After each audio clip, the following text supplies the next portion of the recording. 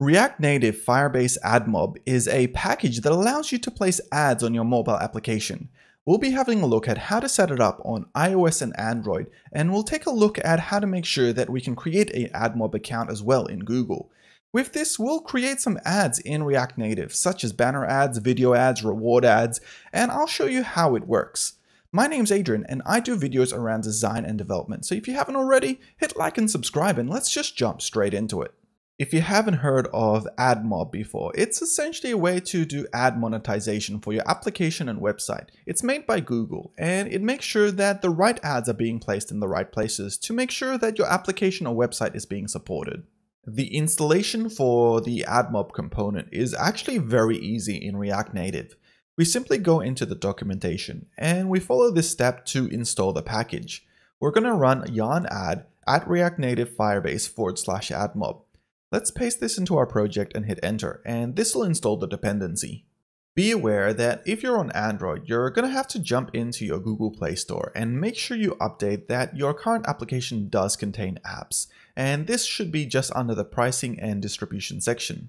If you don't know where this is, you just head into your developer Play Store. You'll select an app that you want to pick and you'll select store presence on the left and pricing and distribution. And in this section, you'll be able to select whether your application contains ads or not. Now, in order to get some ads on our application, we're going to have to set up Google AdMob by creating an account and setting up its configuration. After that, we can create some test ads and put them on our app to see how it works. We'll go to Google and we'll select to click on the AdMob website. In here, we'll sign up for a brand new account. And what we'll do is I'll just automatically sign up with one of my previous emails. We'll create a new account from this and we'll be able to see how we set up AdMob just in general.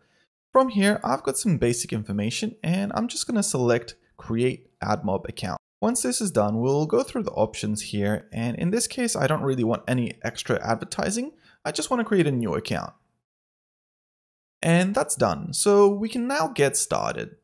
If it's your first time on AdMob, you'll have this screen here to get started. So we're going to select that. We haven't got an app on the Play Store or the Google Store just yet, but we're going to create a new one. So I'm going to select no here. We're going to give our app name a name, which is just Firebase in this case. And what we're going to do, we're going to select Android because this is what we're currently using. We'll select add here and this should get it up and running. We'll create the rest of the stuff a bit later, but for the time being, we'll have a look at this setting here, which is the ID we'll be using inside of our application. Let's select to create an ad unit. And in this case, we've got a couple of different choices here. We've got a banner, we've got a rewards platform, and we've got some other options too.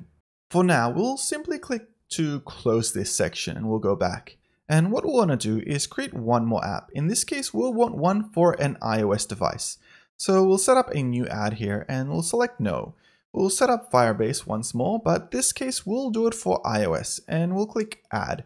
This will generate a new ID that we'll be able to later use in our application and we'll select I'll do later in this case. Now we've got one for iOS and one for Android and we can have a look at the next steps. Be aware that if you are trying to load up a AdMob in your account and you're not using a valid ID, then it may cause your application to crash. So just make sure you double check that whenever you're building or running any applications. Now that we have these two IDs, what we're going to do is create a firebase.json file, which we'll paste into the root of our project. This will be used later to reference the IDs that we're using for AdMob, whether it's on iOS or Android. So let's do this. Let's jump here into our project and we'll create a new file. And this file will be called firebase.json. In here, we'll copy over this placeholder syntax that we have. And what we'll have is an Android and iOS ID. We'll be able to grab this directly from AdMob. So over here, we've got our Android one. I'm going to copy that over to clipboard and paste this in over here. And then I'm going to go back in here and grab the iOS one. And this one I'm to paste here into the iOS section. And that part is now done. And finally, I'll just remove these comments here that are at the top of the file. Otherwise, they might cause some bugs later on. Great, so I've saved that and we can move to the next part now. Since we've just installed AdMob as a new system, we're going to have to make sure that it's properly set up for iOS. If you are on iOS, you'll need to browse into the iOS folder and run pod install, and then browse back out. To do this, we'll just jump into our project here. We'll cd into iOS and run pod install. But in my case, I'm running an Android, so I'm not going to need to do this. So I'm just going to cd back in, and we can now run our React Native application. To do this, in our case, we'll simply run npx react-native run-android. And this will start compiling and building, and we'll see this in a second. We can now take a look at configuring up the settings for AdMob to use in React Native. So before we get started into creating some actual ads on our application, we're going to have to configure AdMob. And we're going to do this by importing it into our React Native project and setting up the type of audience we're going to deliver ads to, whether they're children or adults or whatnot. So we're going to do this by importing AdMob, as well as some other settings here from at React Native Firebase forward slash AdMob. What we're going to do is jump into our project over here and load up app.js. In here, we previously created AdMob with analytics, but in this case, what we're going to do is set up AdMob and put the AdMob configuration here in the did component mount section. Once we have this, we're passing in also a max ad content rating, which we'll be setting here as PG.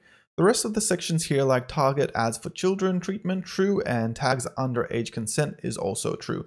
So these are just making sure that we're compliant with regulations like COPPA to make sure that our ads are showing up properly. Be aware that if you're in Europe and you need to provide European user consent, then you'll have to do this separately. AdMob comes without any pre-existing configuration, but they do provide modules such as the Ad Consent Helper, which will allow you to do this. We're finally done setting up and installing AdMob. We've configured it both outside of the application and inside, and we can now start using it. It's pretty simple. We're just going to import some of these scripts here to create a banner ad, and we're going to import this here at the top of our project. Then we can create React components for this. In this case, we'll create a test banner ad and we'll paste this into our application. I'm just going to put this straight above our welcome to React Firebase project. The only other thing that is of note here is we're passing in a unit ID, and this is a test unit ID we're currently putting in. But later on when you create your own ads, you can put in your own IDs. And finally, we'll also need to make sure that we set up a size. So to do that, we're going to import the sizing settings over here, and we're going to get some pre-made size for the banner ads. In this case, what I want to be able to do is create a banner size of maybe large or something like that. So we'll pass in size here and let's double check what the syntax is for that. In this case, we just pass in a size of full banner. So let's put that in here as a prop. Hit save and that should apply. We should see our ad load up any second now and that way we're up and running with AdMob in React Native.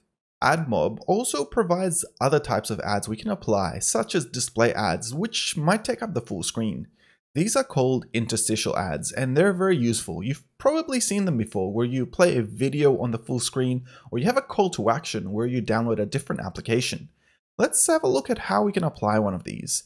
We're going to import a interstitial ad here from React Native Firebase forward slash admob. We're going to set a unit ID and we're going to select some keywords, in this case fashion and clothing. We've got an example here of one that is already ready to use. So we're going to copy this over and put this into our code. Now for our code here, we're going to have to change up a little bit how it works. In this case, we're going to import it here above. But what we're going to do is reuse some of these components that we have used. So for example, I'll remove import React Native. So we'll just import use effect and use state for our hooks. We've got a button here and I might have it previously set somewhere. Yep, we've already set that previously, so we'll remove that. Interstitial ads are already set as well, as well as test IDs. The rest of the configuration essentially looks fine. Let's take a look at how it works. I'm going to rename this function add button, app button, and what we're doing is setting a hook here with a use effect. This will load the interstitial ad when we select the button and we'll be able to close it as well. Here's the button that'll cause that effect. And I'm gonna just put this right above our banner ad. So let's create a new line item here with our component and save that. It should appear just here. And when we select this button, the full screen ad just plays, which is great. Of course, this type of ad is only very generic. It only has a single picture. If we want something that has a bit more interactivity, we'll need to do things like reward ads, which will actually play videos. So let's take a look at the syntax to create one of these. We've got some syntax here ready to go. And in this case, we'll be importing a reward ad with a reward ad event type. Let's pull in the syntax. I'm going to replace the button we created earlier with this new one. So what we'll do is we'll just go down here and we'll remove all the syntax and replace it with this new button. I'll call this app button once more, but it should work fundamentally the same way. Let's just make sure we're not recalling the same events here. So here we are going to remove this and we'll just save that. That should essentially work. Now here we have a reward ad. And when we select this button, we can see that a video plays with the reward in this case. We've got a small timeout at the top right there, which we can close off. Otherwise, we can just close off the ad and we're back to our screen. And finally, we have banner ads. And these are the ones we've already looked at at the very start. The main difference here is the options or props that we pass through to make them work a little bit different. In this case, the size is probably one of the most important. We've got a few different sizes here. For example, we could do the banner ad with a size of banner. And in this case, it'll be a little bit smaller. We'll be able to see that and that way it exists as a small little item there. Or we could do a fluid design, and this essentially should resize to the size of the device a little bit better. In this case, we haven't really set a device size for this fluid banner, so it's not going to really take in any size. We also have full banner, which we already tested out earlier and uses up the full width of the screen. If it's a little bit too big, it might not look very good, but you'll have to play around with that. We also have a large banner here, and this is the one we started off with. We can see that it fits in quite well. We have a leaderboard one, and this is quite wide. Not sure if we can apply this without having a widescreen, so in this case it's not really loading up. We've got a medium rectangle, and this is what it essentially looks like. It uses up quite a lot of room, especially on a mobile device we've got a smart banner and this uses up the full width and auto height. So let's see what that looks like. We'll save this and we can see that it's just randomly up at the top right. So it might need a little bit of styling in this case. Finally, we've got the wide skyscraper and I'm not too sure how this will come out. I assume it'll just be very wide. Uh, yes, it is, and it seems to be using up as much room as it can there with almost 600 pixels in height. Anyway, those are some of the different sizes, but you can see how you can implement these depending on what you're doing in your application. I'm going to be doing more videos around React Native Firebase, so if you guys are interested, make sure you hit like and subscribe. Otherwise, I'll see you in the next one. Thank you.